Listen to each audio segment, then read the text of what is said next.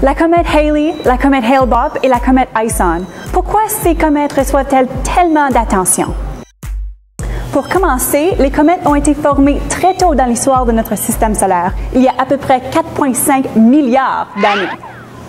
Elles sont comme des capsules de temps qui peuvent nous donner beaucoup d'informations sur l'état primitif de notre système solaire, lorsque la Terre était qu'une jeune planète.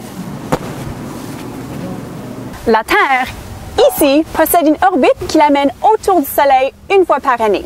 Les comètes, par exemple, se retrouvent au plus lointain endroit de notre système solaire, plus loin que l'orbite de Jupiter, Saturne, Uranus et Neptune dans la ceinture Kuiper.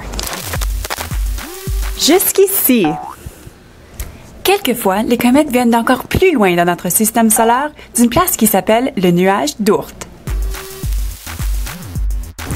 Notre voyage à travers le système solaire nous emmène à près de 800 millions de kilomètres vers le nuage d'Oort, ce qui, à cette échelle, nous fait faire 2 km et demi de route.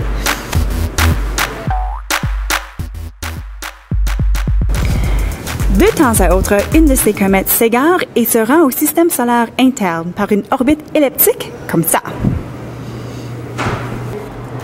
En utilisant des matériaux communs, nous vous créer un modèle d'une comète assez simple ici sur Terre. Les comètes sont principalement faites de la glace, alors je vais ajouter de l'eau. Des minéraux et de la poussière contenant des métaux lourds sont aussi trouvés à l'intérieur des comètes, alors j'ajoute du terreau pour les représenter.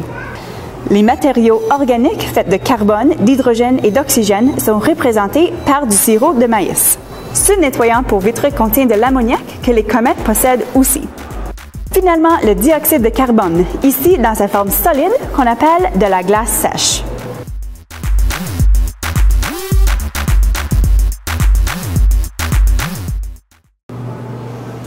Et voilà, une boule de neige très sale. Cette partie s'appelle le noyau de la comète. Tu peux voir que la surface est irrégulière, avec des poches de gaz à l'intérieur et couverte de saleté. La glace se sublime en gaz lorsqu'elle se réchauffe. Une queue se forme derrière la comète, toujours dans la direction opposée au Soleil. Une deuxième queue est formée par des particules de poussière laissées le long de son orbite courbée. Si une comète peut survivre au vent et aux forces gravitationnelles du Soleil, elle va souvent reprendre son orbite autour du Soleil et nous faire un autre spectacle dans à peu près 200 ans ou moins. Par exemple, la fameuse comète de Halley nous a rendu visite en 1986 et revient chaque 76 ans. Est-ce que tu seras prêt pour son retour en 2061?